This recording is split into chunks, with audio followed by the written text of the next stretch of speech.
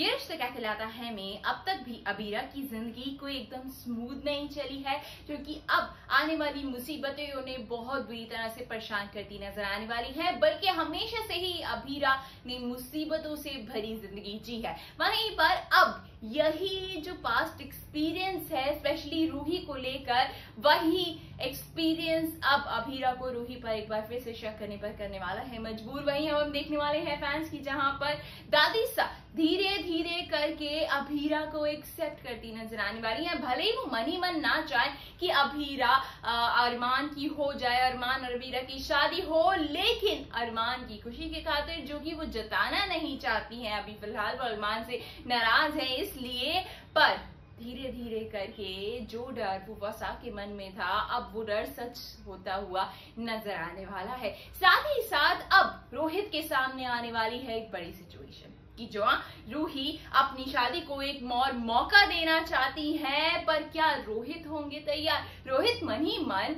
रूही से बहुत अटैच्ड है, उनसे प्यार करते हैं, पर कहीं ना कहीं रूही के लिए जो नफरत उनके मन में पैदा हो गई है, उसको एकदम से साइड कर देना और रूही और अपनी शादी को एक और मौका देना उनके लिए भी बहुत डिफ़िकल्ट है। ये होगी फैंस की आखिरकार रोहित, रूही के इस रिक्वेस्ट पर क्या डिसीज़न सुनाते हैं। जाने के लिए स्टापस की शो ये रिश्ते क्या कहलाता है लगातार देखते रहिए। स्क्रिप्टेड को सब्सक्राइब करना बिल्कुल ना भूलें।